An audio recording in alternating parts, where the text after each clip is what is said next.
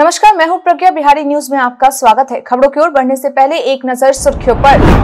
Corona सैंपलों की genome sequencing हुई शुरू, गया में मिले छह नए संक्रमित। प्रियांकी मेहता ने बताया अपने प्रयास का गुरु मंत्र बिहार के एक लाख शिक्षकों के अंगूठे का निशान का हो रहा मिलान। अगवानी सुल्तानगंज पुल को लेकर बड़ा अपडेट आया सामने। बिहार एसटीएफ ने साल 2023 में इतने मोस्ट वांटेड अपराधियों को किया गिरफ़्तार। इसके साथ ही बढ़ते हैं शाम तक की बड़ी खबरों की ओर विस्तार से।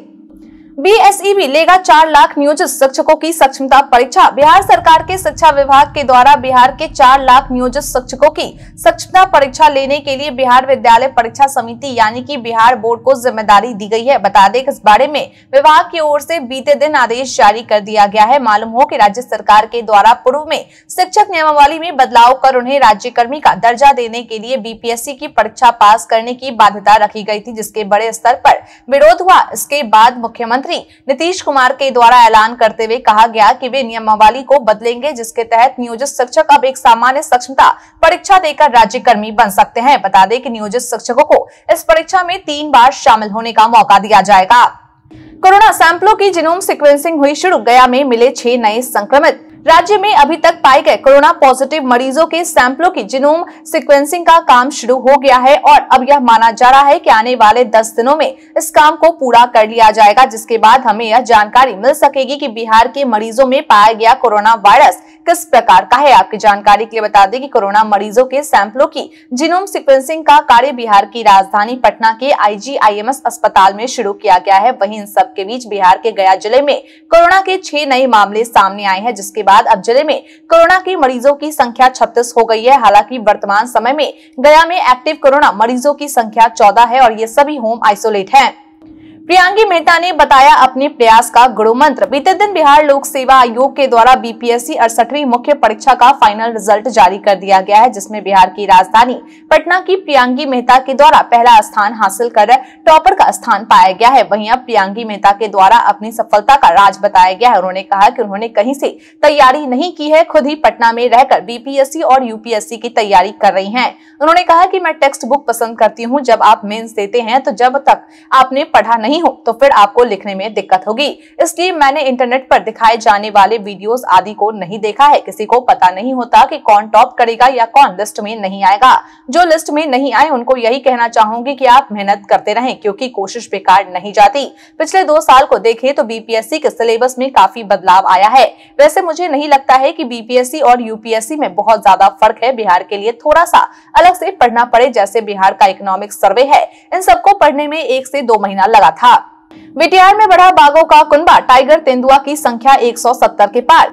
बिहार के इकलौते वाल्मीकि टाइगर रिज़र्व में बाघों का कुनबा बढ़ा है बता दें कि मिली जानकारी के अनुसार मंगुराहा व गोवर्धना वन क्षेत्र में बाघिन के साथ शावकों को देखा गया है। ऐसे में इसको लेकर कहा गया है कि बाघों के अनुकूल बेहतर माहौल और आसानी से भोजन उपलब्ध होने से यह संभव हो पाया है। बीटीआर प्रशासन के अनुसार पहले से नर्मादा मिलाकर चौवन बाघ और एक करीब एक दर्जन शावक जंगल में मौजूद है। वहीं बाघ विशेषज्ञ व chief ecologist and wildlife trust के डायरेक्टर डॉक्टर समीर सिन्हा के द्वारा जानकारी देते हुए बताया गया कि नए मेहमानों के आगमन की सूचना पर वीटीआर प्रशासन की ओर से पेट्रोलिंग बढ़ा दी गई है।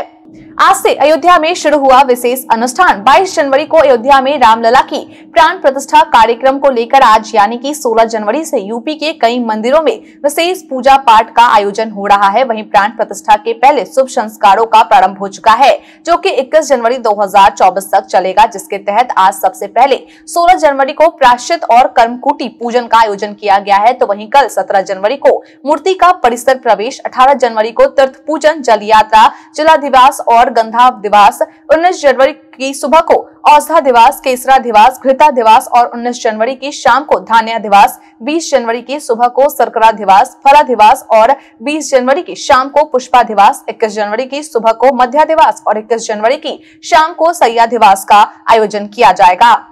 बिहार के एक लाख शिक्षकों के अंगूठे के निशान का हो रहा मिलान। बिहार के सरकारी स्कूलों में पढ़ा रहे वैसे एक लाख शिक्षक, जिनकी नियुक्ति बिहार लोक सेवा आयोग द्वारा आयोजित की गई पहले चरण की शिक्षक भर्ती परीक्षा से हुई है। उन शिक्षकों के अंगूठे के निशान का मिलान का काम राज्य के जिलों में शुरू कर दिया गया है। बता दें कि शिक्षा विभाग के अपर मुख्य सचिव के के पाठक के निर्देश पर शिक्षकों का चरणावर जिला मुख्यालय में ले जाकर बीपीएससी की परीक्षा में दिए निशान से यह मिलान किया जा रहा है। इसको लेकर बीपीएससी से रिकॉर्ड मांगा गया है। मालूम हो कि जिलों को यह निर्देश फर्जी नियुक्ति पत्र बनवाने और फर्जी नाम से स्कूलों में योगदान देने की शिकायत प्राप्त होने पर दिया गया है और साथ ही इस दौरान विभाग के द्वारा यह भी कहा गया है कि निशान के मिलान के दौरान संबंधित स्कूल के प्राध्यापक मौजूद रहेंगे। बिहार एसटीएफ ने साल 2023 में इतने मोस्ट वांटेड अपराधियों को किया गिरफ़्तार। एडीजी पुलिस मुख्यालय जितेंद्र सिंह गंगवार के द्वारा जानकारी देते हुए बताया गया है कि बिहार एसटीएफ के द्वारा कुख्यात अपराधियों, नक्सलियों, माओवादियों और हथियार तस्करों पर कार्रवाई करते हुए वर्ष 2023 में कुल पाँच मोस्ट वांटेड को गिरफ़्तार किया गया है। जिसमें से एक लाख का एक इनामी अपराधी, पचास हज़ार के तेरह और पच्चीस हज़ार के बारह इनामी अपराधी शामिल है, जबकि वर्ष दो हज़ार इक्कीस में दो सौ निन्यानवे और वर्ष दो हज़ार बाईस में दो सौ कुख्यात अपराधी गिरफ़्तार किए गए थे। वहीं अगर हथियार की बात करें तो वर्ष 2023 में 241 देसी हथियार 15 रेगुलर हथियार 8,760 ज़िंदा कारतूस और तीन लाख सात हज़ार पाँच सौ अस्सी बड़ा मत किया गया है। बता के दें कि अब पुलिस मुख्यालय के द्वारा अपराधी की सूचना देने वाले आम व्यक्ति को इनाम देने की घोषणा की गई है जिनका नाम गुप्त रखा जाएगा।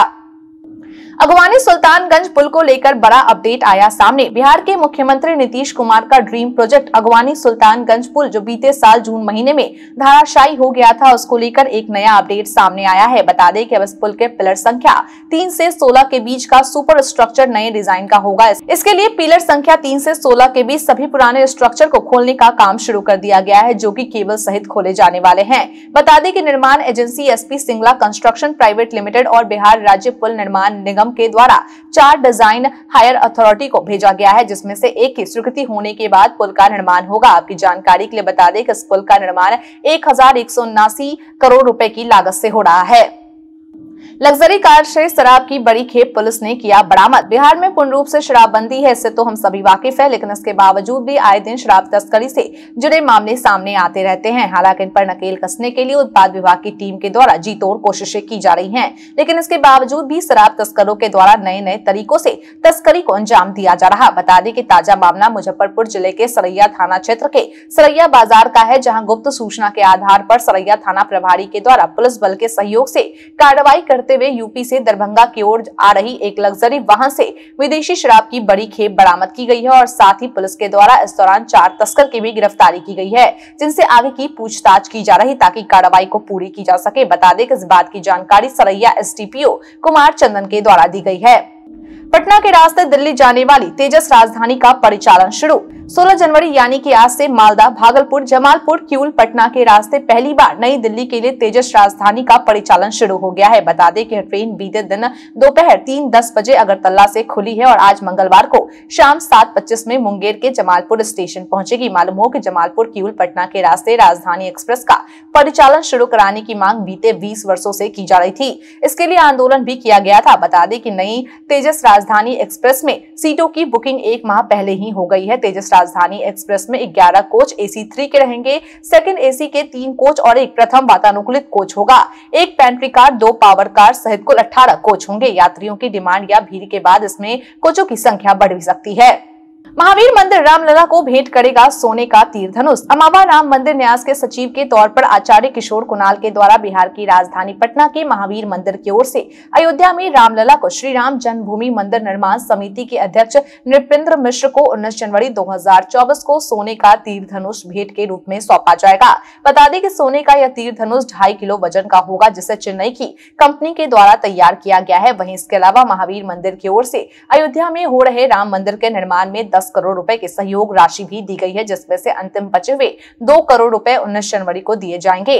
महावीर मंदिर न्यास के सचिव आचार्य किशोर कुणाल के द्वारा दी गई जानकारी के अनुसार वर्ष 2020 में जिस दिन श्री राम जन्मभूमि तीर्थ क्षेत्र ट्रस्ट का खाता खोला था, उसी दिन महावीर मंदिर की ओर से दो करोड़ रुपए की पहली किस्त दी गई थी। भारत जोड़ो न्याय यात्रा के लिए बिहार में बना ऐसा रूट सीमांचल के चार जिलों में राहुल गांधी की भारत जोड़ो न्याय यात्रा की तैयारी शुरू हो गई है।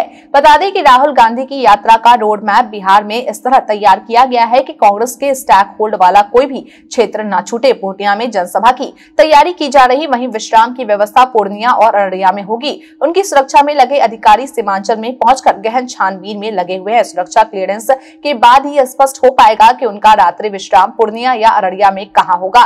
बंगाल के चिकन नेल वाले रास्ते से यात्रा बिहार के किशनगंज में प्रवेश करेगी। सबसे बड़ी बात यह है कि सीमांचल का क्षेत्र कांग्रेस का स्टैक होल्ड रहा है। विपरीत राजनीतिक परिस्थितियों में भी इस इलाके में कांग्रेस के पाँच विधायक व एक सांसद हैं।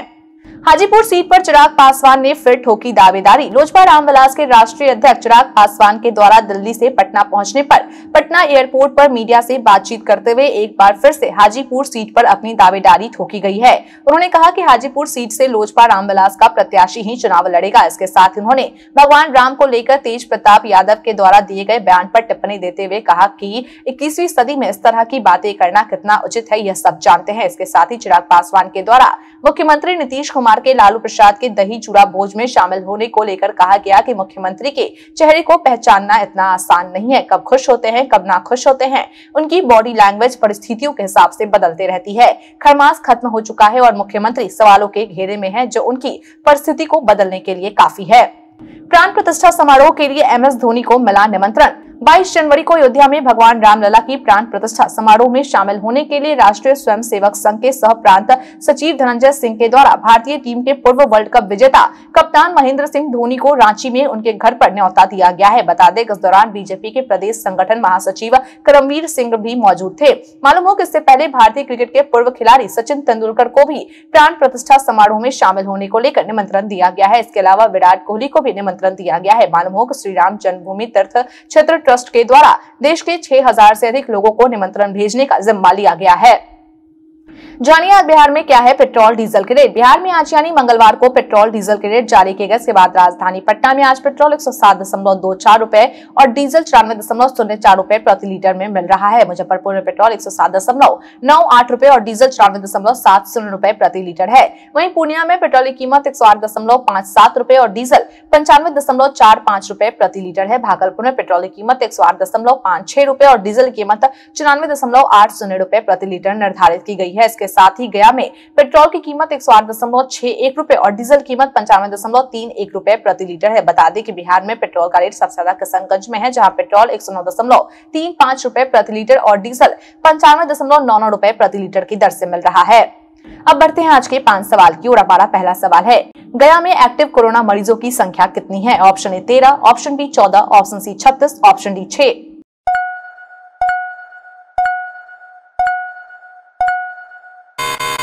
इसका सही उत्तर है ऑप्शन बी चौदह अगला सवाल बिहार एसटीएफ ने साल 2023 में कितने मोस्ट वांटेड अपराधियों को गिरफ़्तार किया है option A 500, option B 525, option C 547, option D 560।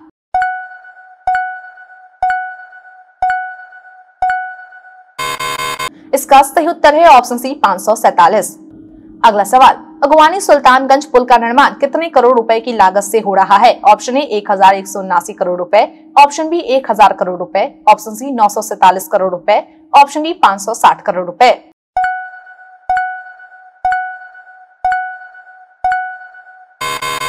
इसका सही उत्तर है ऑप्शन ए एक हज़ार एक सौ उन्नासी करोड़ रुपए। अगला सवाल, तेजस राजधानी एक्सप्रेस में कितने कोच एसी थ्री के रहेंगे? ऑप्शन ए ग्यारह। ऑप्शन बी दस। ऑप्शन सी नौ। ऑप्शन डी आठ।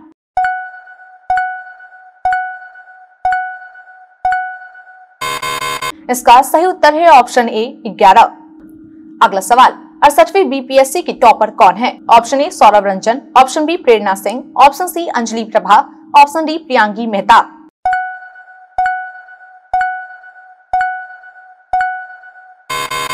इसका सही उत्तर है ऑप्शन डी बीते दिन हमारे द्वारा पूछे सवाल का आप लोगों में से बहुत लोगों ने अपना जवाब हमें हमारे कमेंट सेक्शन बॉक्स में लिख कर दिया है जिन्होंने हमारे द्वारा पूछे सवाल का जवाब दिया है। उनके नाम है रंजीत मिश्रा कन्हैया कुमार रवि कुमार राम चंदन कुमार रवि कुमार राज वेद प्रकाश सिंह गोनर शर्मा चंदन रमन जितेंद्र ठाकुर मोहम्मद सकीर हुसैन नंद कुमार सिंह सचिन कुमार ललित कुमार गोलू कुमार राजकिशोर महतो। इसके साथ ही बढ़ते हैं आज के सवाल की और आज का सवाल है। आपके अनुसार प्रतियोगी परीक्षाओं की तैयारी के दौरान छात्रों को किन किन बातों पर विशेष ध्यान देना चाहिए? अपना जवाब हमें हमारे कमेंट सेक्शन में लिखकर ज़रूर बताएँ। आज के लिए इतना ही। बिहार के तमाम खबरों के साथ बने रहने के देखते रहे बिहारी न्यूज़ और साथ ही अगर आप यूट्यूब से देखकर चैनल को सब्सक्राइब करना और अगर आप फेसबुक से देख रहे हैं तो पेज को फॉलो करना ना भूले। धन्यवाद।